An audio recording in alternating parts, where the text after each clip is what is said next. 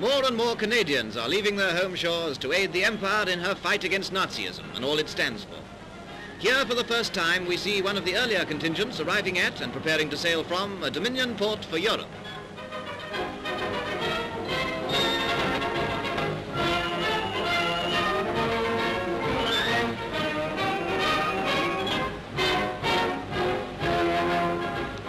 The Nazi leaders have any doubts as to the unity of the British Empire, these pictures would convince them if they could see them. These fine sons of the Great Dominion will be under the command of Major General Andrew McNaughton, who recently arrived in France.